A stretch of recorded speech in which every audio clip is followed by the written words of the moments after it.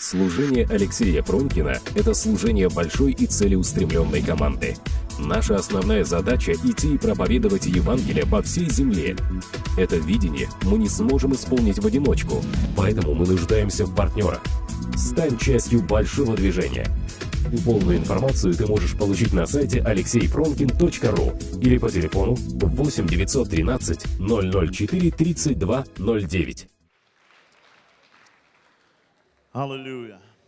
Если ты ходишь в церковь среди недели, в четверг, это хорошая привычка.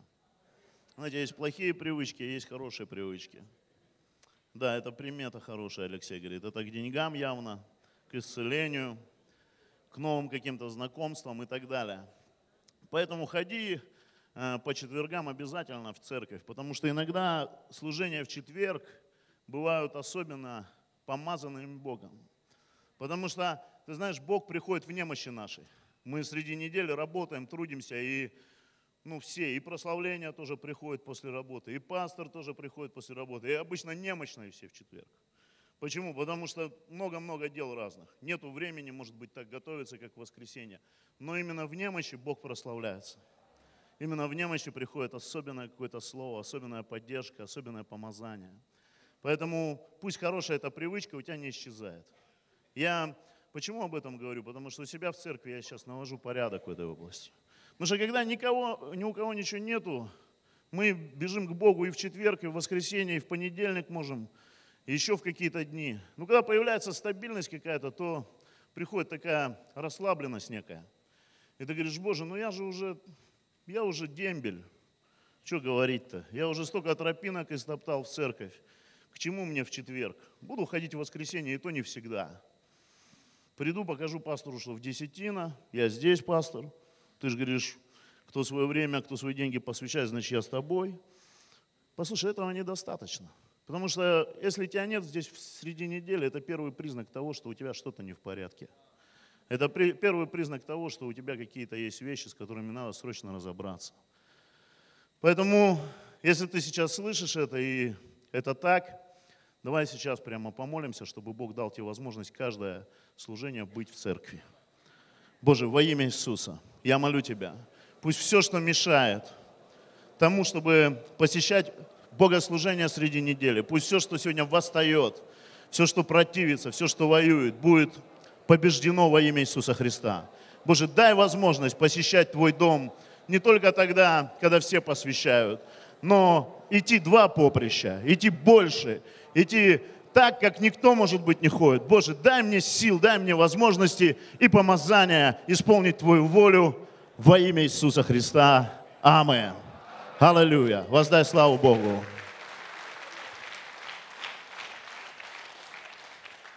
Алексей вот говорил, что прошлый год неурожайный был, гуси не неслись. А я вспомнил, я говорю, Алексей, у тебя гуси не неслись, а у кого-то они вообще улетели. Помнишь? Вадим разводил гусей в Бийске. И я говорю, Вадим, а где твои гуси? У него много было гусей. Он говорит, они улетели. Я говорю, почему? Ну, я приехал, вот ребята, которые их выращивали, мне так объяснили. Я смотрю, хожу везде, нигде гусей нету. Я у них спрашиваю, ребята, а где гуси? Они выстроились все. Но он же в гневе ужасен у нас. Они все боятся, никто ничего не говорит. И тут один выходит, Вадим Владимирович, у нас есть версия, они улетели. Бывает всякое, бывает и гуси улетают, бывает и не несутся. Но это не повод к тому, чтобы нам отказаться от того, чтобы служить Богу, сеять. Разное бывает. Мы не где-то на Луне живем, мы здесь на Земле живем, среди разных происшествий, среди разных событий. И Бог благой, Он дает нам всегда, даже среди каких-то несчастий и Э, среди каких-то потерь торжествовать во Христе Иисусе. Амин. И я благословляю вашу церковь, я благодарю за эту возможность проповедовать. Для меня это всегда честь. Большое спасибо, Алексей, Евгения. Бог пусть благословит вас еще сильнее. Я вижу, что житницы с каждым годом наполняются, народу становится больше, команда поднимается. Кто-то, может быть, не может в седле держаться, но вы поднимаетесь, спускаетесь со своих мест, может быть, уже, которые ну, не, не так требуют, не, ну, они находятся высоко, и иногда с них тяжело сходить для того, чтобы поднять кого-то, но тем не менее вы ищете этих людей, поднимаете, ставите вновь рядом с собой, и большая вам за это честь. Поэтому воздай славу Богу за своих пасторов.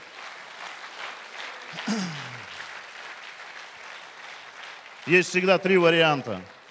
Если кто-то выпадает из твоей команды, первый вариант это просто кинуть его, сказать, да, ну что, ну предал, до свидания, пусть как хочет, так живет. Второй вариант – это набрать новых людей. А третий вариант – это взять вот этих упавших и восстановить. И слава Богу за ваших пасторов, что они всегда выбирают третий вариант. Это дает тебе надежду на то, что ты не будешь брошен. Амин. И я хочу поздравить также всех женщин. Прошедшие праздники. У нас самые крутые женщины в новом поколении. Воздай славу Богу за наших женщин.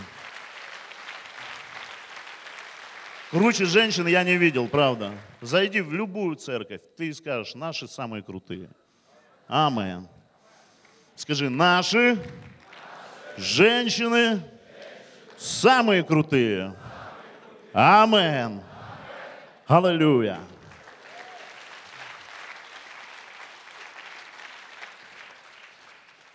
И Бог называет церковь полки со знаменами. Он видит церковь воинственную, церковь, у которой в руках оружие, которая не сдается ни перед какими трудностями и обстоятельствами. И я сегодня хочу проповедовать на такую тему, может быть, она немного необычная, и звучит она так. Две битвы, два стиля. Две битвы, два стиля.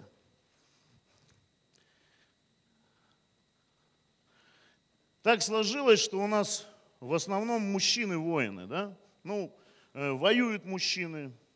Всегда на первом э, крае, на переднем, где идет вся вот эта потасовка мужики, они на себя удар принимают, они самые основные сражения проходят.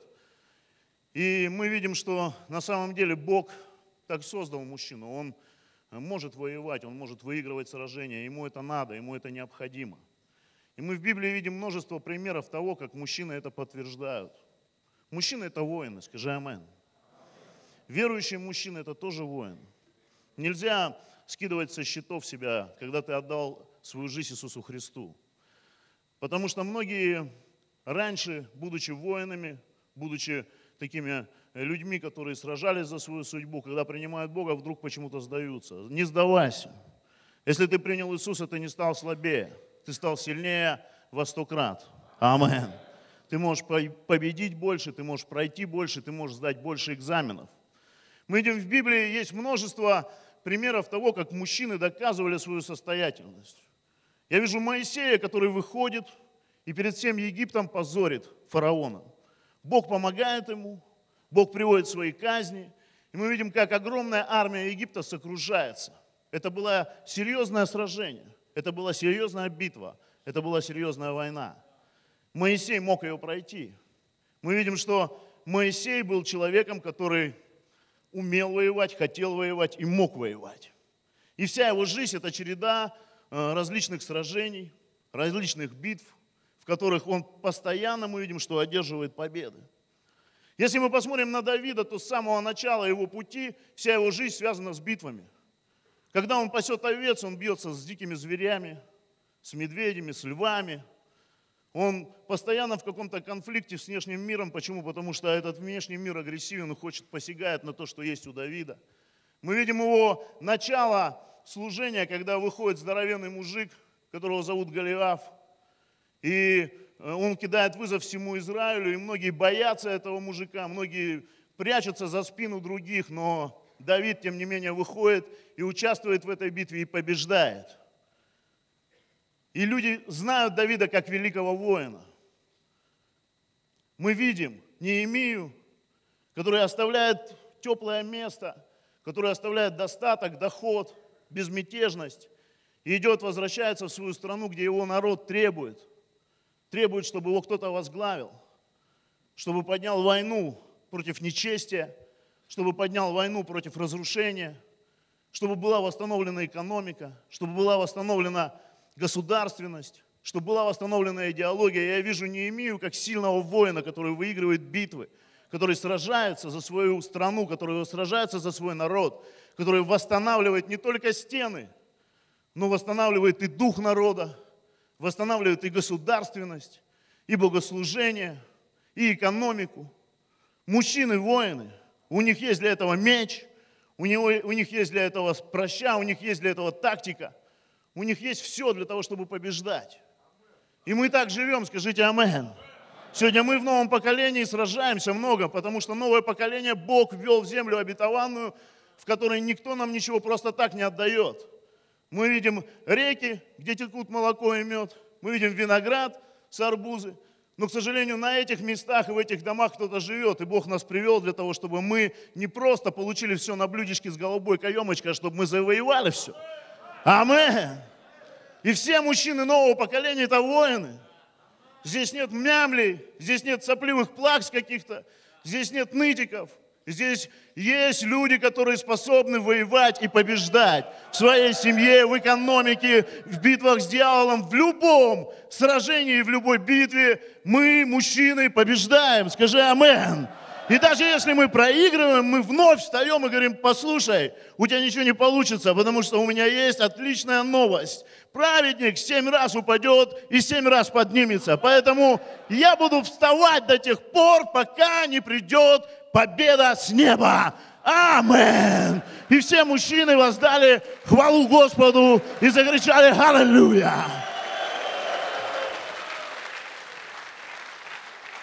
Не правда ли круто вообще слышать столько возгласов мужских в церкви? это, это действительно воля Божья, чтобы мужчины были воинами. Но я сегодня хочу поговорить о женщинах.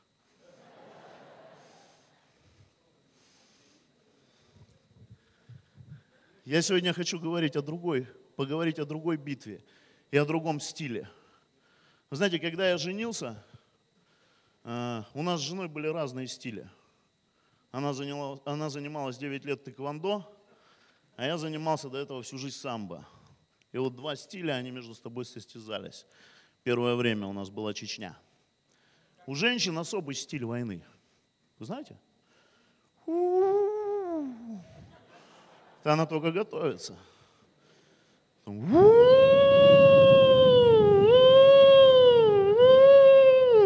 Это значит, скоро что-то будет. И когда она по-настоящему начинает воевать, тогда держитесь все. Тогда приходит такое разрушение, Боже мой. Мы недооцениваем женщин. И многие женщины недооценивают себя. Женщины, вы обладаете таким стилем битвы, против которого никто никогда не сможет устоять. И все женщины скажите «Амен». Аллилуйя.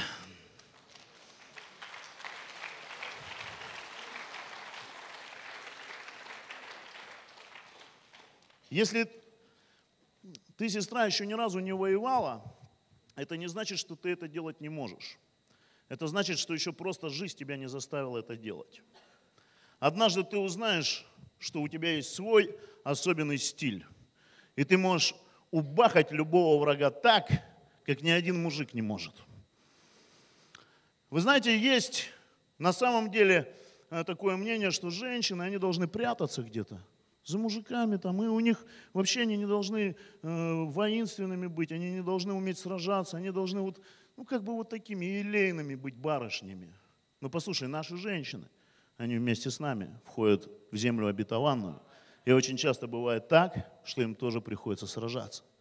Поэтому я хочу сегодня говорить тебе хорошую новость. Если ты никогда не сражалась, однажды придется. Для каждой женщины однажды в жизни появляется такая ситуация, такие обстоятельства, что хочешь или не хочешь, но тебе придется драться. Женщины дерутся интересно. Кто видел? Ой-ой-ой-ой-ой. Так как женщины дерутся, мужики не могут.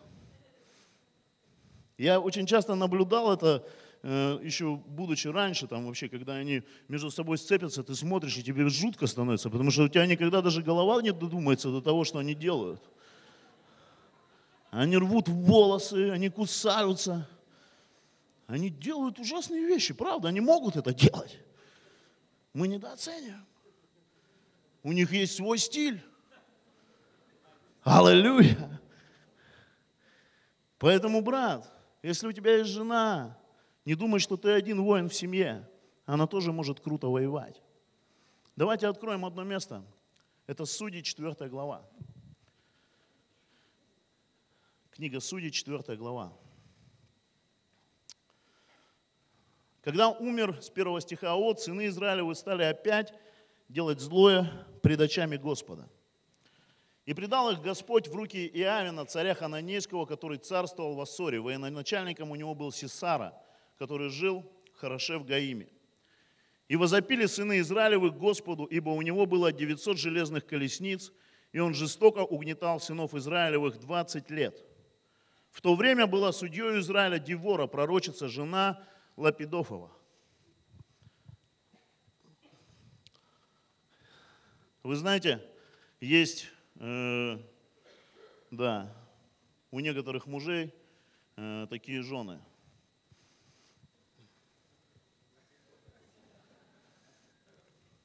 Девора пророчествует, воюет, ведет нацию. Есть такие женщины, но их мало. Согласитесь? Таких женщин, которые бы стояли во главе нации, которые бы могли вдохновить мужчину на сражение, потому что там дальше, если мы читаем, мы видим, пришел враг к ней, говорит, Девора, я без тебя на войну не пойду. Если ты не пойдешь со мной, я воевать не смогу. И она говорит, не переживай, враг, я пойду с тобой, все будет нормально. Есть такие женщины, которые могут вот так воевать, которые могут влиять на мужчин, которые могут стоять во главе, которые имеют помазание, которые имеют пророчество, которые могут вдохновить целую армию на победу. И Девора была такой. Она была сильной, помазанной. Она знала, что сказать военачальникам, чтобы они не проиграли, чтобы они победили. Но послушай, не все такие. Я смотрю вокруг, и я не вижу вокруг себя миллион Девор. Они редко очень попадаются. Бог не сделал всех деворами. У нас есть Маша, Люда, Оля, Женя, Мила, давайте помогайте, Катя. Девор мало? Амен. Сережа, да? Куда катится мир? Сейчас тоже такое имя есть, да, женское? Раньше не было.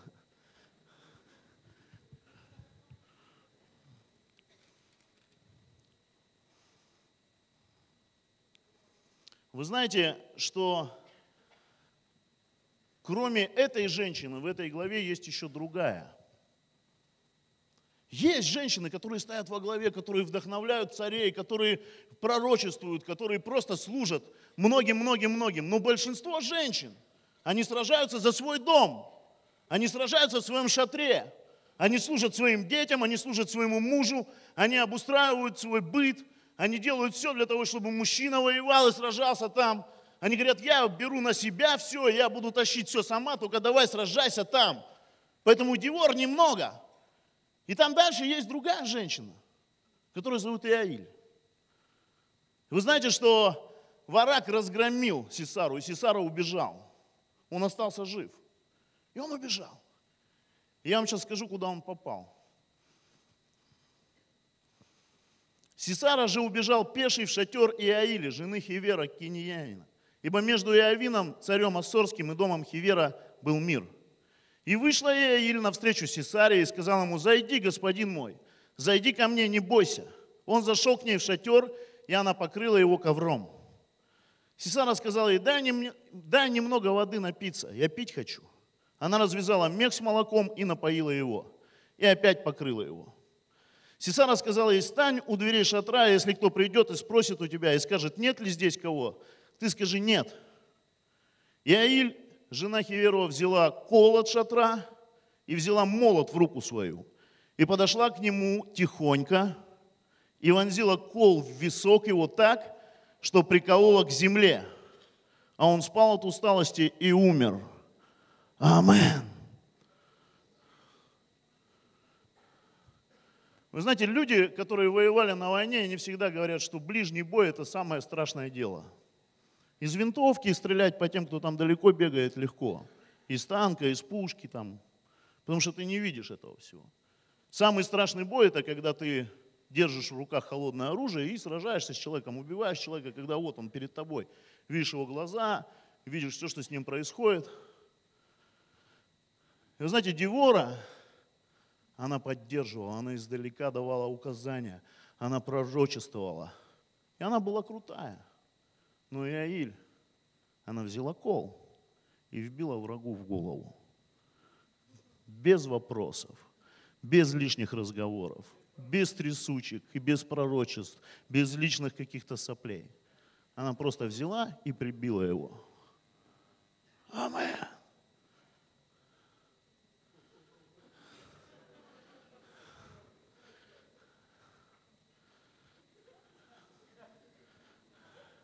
Сестры, я хочу сказать вам хорошую новость. Если ты даже не Девора, у тебя есть особый стиль с которым никакой Сесара не сможет сравниться. Пусть он управляет армиями, пусть у него несколько тысяч колесниц, но когда ты берешь свой кол от палатки и молоток, любой Сесара попадает. Амен. Когда в твою жизнь приходит враг, не надо плакать, не надо бежать и звать мужа и говорить, муж мой, Сесара в моем шатре, возьми свое оружие. Это не сабля, это не пушка. Она прекрасно знала, как растягивать шатер. Она прекрасно знала, как наводить там порядок. И великолепно владела и молотком, и колышком. Амен. И поэтому она угробила врага в три секунды. Вы знаете, в вашу жизнь, женщины, будут приходить враги. И в это время ваш муж, может быть, будет где-то на войне, может быть, где-то сражаться, его не будет рядом. И ты будешь видеть его, этого врага, который пришел к тебе домой и хочет там остаться. Никогда не смиряйся с этим. Потому что у тебя всегда есть способ разобраться с ним самой. Я знаю, что наши женщины – это воительницы Божьи. Это те, кто может убить и разобраться с любым демоном и с любым бесом. Своим стилем и своим оружием. Тебе не надо быть такой, как мужчины. Тебе даже не нужна их помощь. Они на своем уровне, свои войны побеждают и сражаются. Но когда в твой дом приходит враг, ты можешь с ним разобраться сама. Ты можешь одержать над ним победу сама. Вы знаете, в моей семье я спокоен, потому что рядом со мной женщина, которая любого врага уделает. Я уверен, что если в мой шатер придет Сесара, он получит не только молотком, он получит всем, что у меня есть дома, всем перечнем. Она его еще похоронит и памятник сделает. Легко. Почему? Потому что она проходила свои войны, она проходила свои сражения. Когда вы сталкиваетесь с врагом лицом к лицом, не бегите. Примите от Бога помазание и сражайтесь. Примите от Бога силу и сражайтесь. Потому что мужчины в этом вам не помогут. Это ваша война, это ваша битва, это ваше сражение, это ваш шатер. И не позволяйте Сесаре там находиться. Амен. Воздай славу Богу.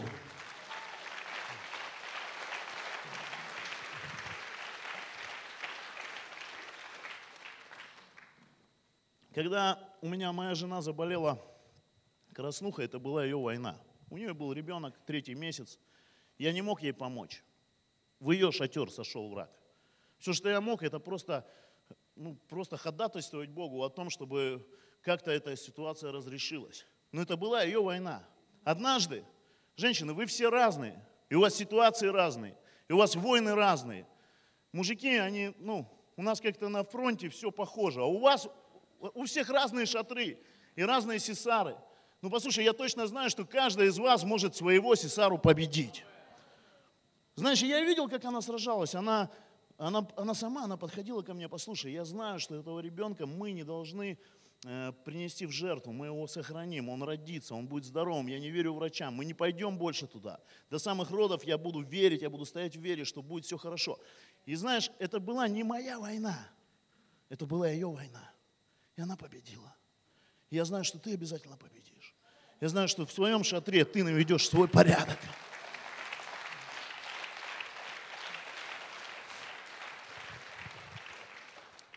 Еще в одном месте А я вижу еще другую женщину.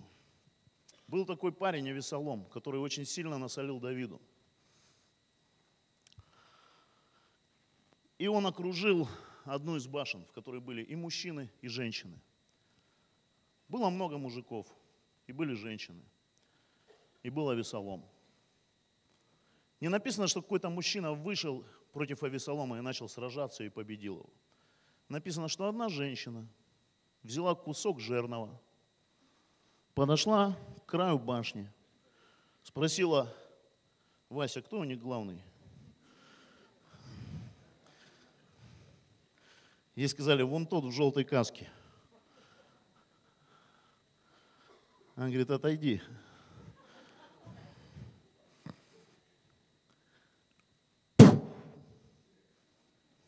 Библия говорит, кусок жорного разбил голову Весолому так, что тот уже не смог подняться больше.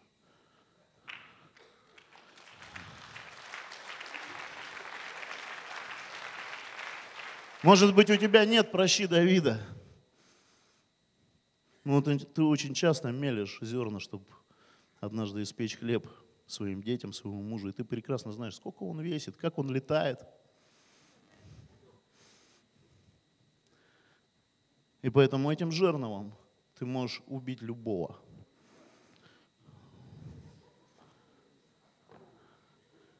Знаешь, про эту женщину не сказано ни ее имя, там, ни каких-то регалий. Но послушай, уже, уже долгие годы мы читаем и видим, что женщина может разобраться с любым врагом не хуже, чем мужчина. Амен. Воздай славу Богу за эту женщину.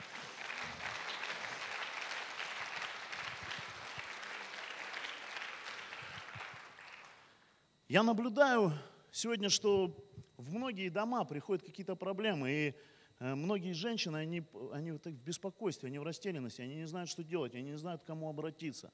Вы знаете, не всегда кто-то может тебе помочь. У Анны, допустим, не было детей. Не было детей. У ее соперницы были. Муж ее вообще не помогал, он успокаивал и говорил, Аня, я тебя люблю, этого достаточно. Зачем нам дети? Все нормально, успокойся.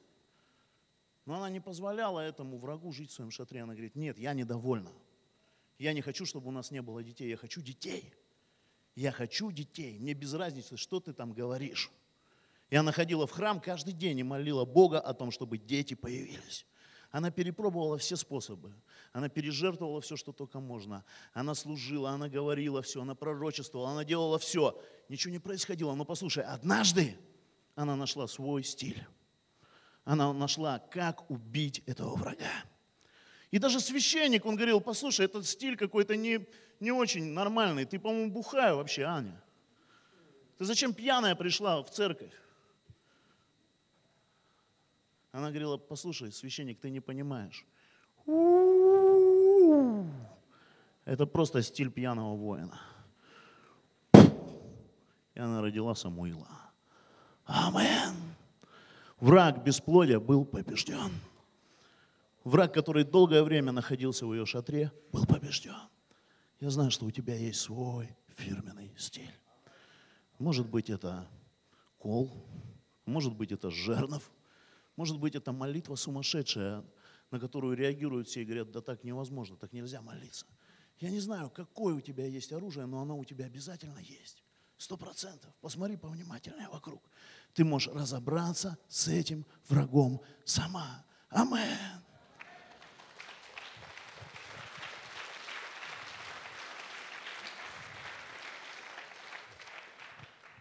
Мало того, вы знаете, что женщина может спасти мужчину очень часто, потому что женщины, они видят больше, чем мы. Однажды рядом с Моисеем а, была его жена Сепфора в момент, когда ангел Божий пришел его убить. Моисей вообще не в курсе был даже, что это может произойти. Ангел Божий пришел, и он хотел убить Моисея. Я не буду сейчас считать это. Я просто вам рассказываю эту историю. Сепфора, увидя это, знаете, что она сделала? Она взяла ребенка, обрезала его и сказала, все, теперь ты не имеешь права убивать, потому что мы в завете, ты жених крови. И Бог оставил Моисея. Он даже не понял, что он был на волоске от смерти. Женщины, они знают лучше, когда и кого обрезать в своей семье. Вы знаете, я иногда, не, я иногда многие вещи забываю. Я забываю, что надо вести куда-то детей. Я могу не помнить там какие-то моменты. И мужчины, они такие, они могут не помнить. Некоторые не могут, могут не помнить даже дни рождения своих детей, в какой они класс ходят, потому что они на войне, там, они впереди. И ты можешь им смс писать, а ты помнишь вообще сегодня, какой сегодня день? Он пишет тупой такой, какой? Какой? Нормальный вроде, дождя нет. И начинает гадать. Мы с тобой сегодня встретились. У нас сегодня было первое свидание. Нет, у тебя дочь родилась сегодня, у тебя сын родился. Боже мой, я забыл. Вы знаете, женщины, они вообще лучше знают своих детей. И они знают, когда их надо обрезать. И именно женщины делать это должны, по идее. Мы просто иногда, вот мне иногда жена говорит, позанимайся с ними, Библию с ними почитай, помолись. Ну, я могу это делать. Она уезжает, все, у меня концлагерь дома. Они сидят у меня по разным комнатам, даже мелкий у меня, не, читать не умеет, зато слушает. Пастыря Алексея, он уже знает, что это пастырь Алексей. Но я понимаю, что еще пару лет, и он его ненавидеть будет –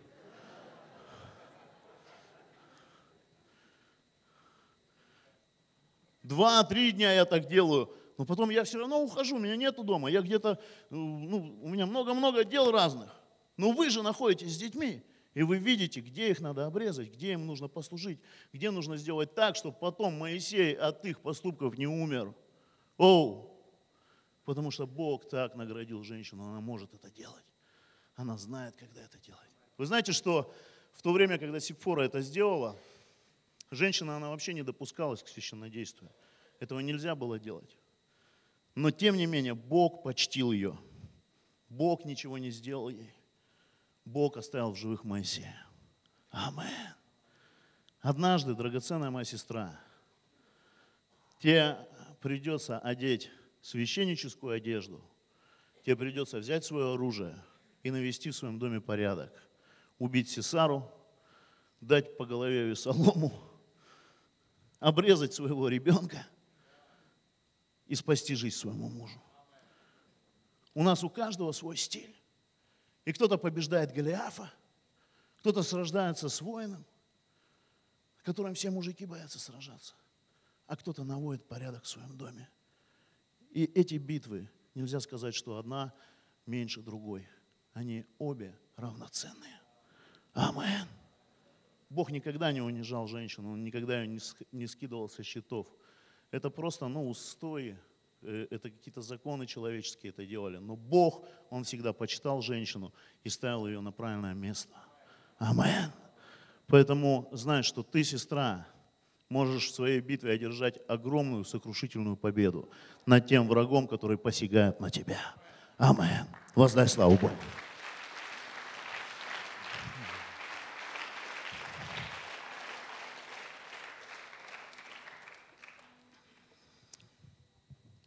Почему я вообще на эту тему начал говорить? Я не знаю, я молился, Бог мне дал это, потому что это кому-то надо, видимо.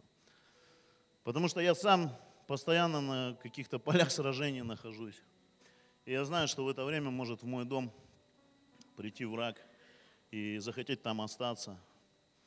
И поэтому я сегодня за то, чтобы женщины, они понимали волю Божию в отношении их, и они могли в своем доме постоять и за себя, и за своих детей – сохранить жить мужу, принести благодать и милость Божию.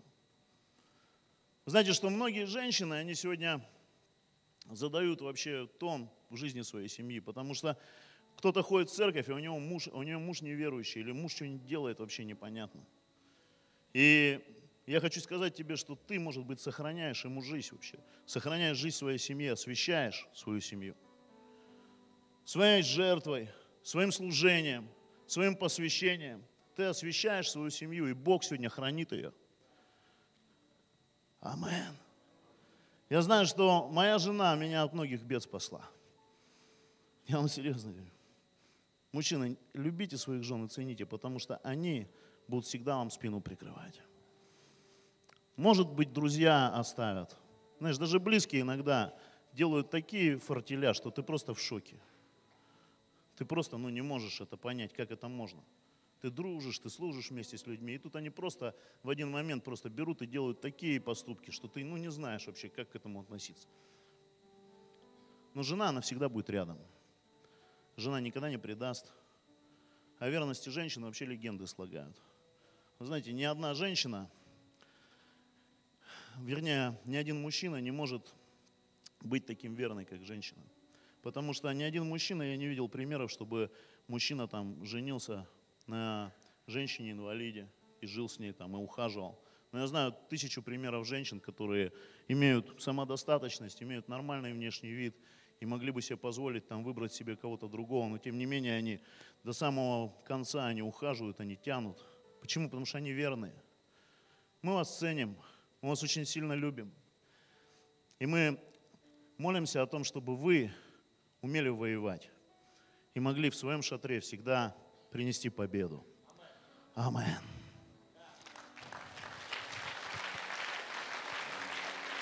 Давайте сейчас встанем.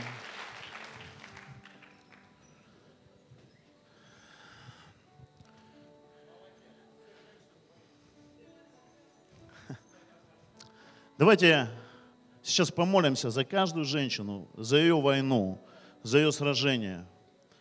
Возьмите все за руки. Давайте возьмемся все за руки. И согласимся, чтобы Бог пришел в каждое сражение, в каждый шатер, на каждую башню и дал сверхъестественную возможность победить каждой сестре. Боже, мы поднимаем к Тебе все наши ситуации – все наши трудности, все наши сложности. Боже, и мы как церковь соглашаемся Тебя молить о том, чтобы в каждую войну пришла победа с неба. Боже, я молю Тебя, пусть каждый враг будет сокрушен. Пусть Сесара не победит. Пусть придет сокрушительное поражение каждому врагу, который покусился на наш дом, на наших детей, на наши шатры. Лор лей багашанда la la la la богосу.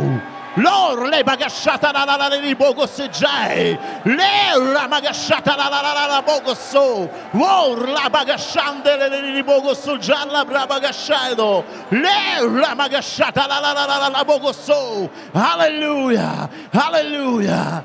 Боже, благослови наших женщин. Дай им терпение и мудрости.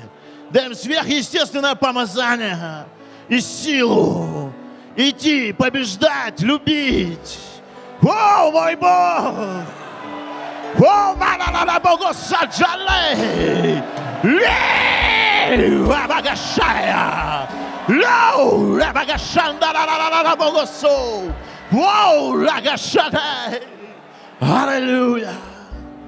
Боже, я молю Тебя, посиди сегодня каждую женщину, которая сломлена, которая ранена, которая имеет какое-то поражение в жизни, и подкрепи. Пусть всякий источник крови прекратится.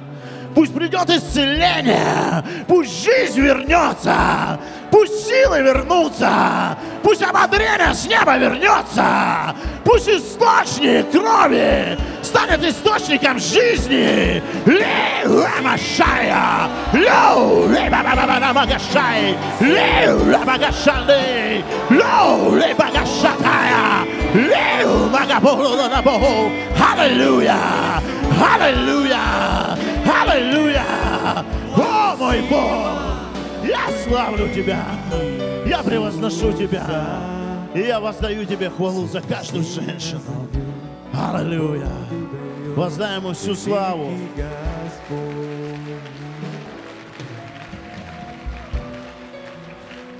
Вы знаете, секунду, пожалуйста, послушайте. Мне Бог сейчас напомнил одну ситуацию, когда один мужик по-серьезному наделал делов вообще. Его звали Навал. Ну, вот такое имя у него, само за себя говорит. Дурак, да. Есть мужики, которые не сильно умно поступают.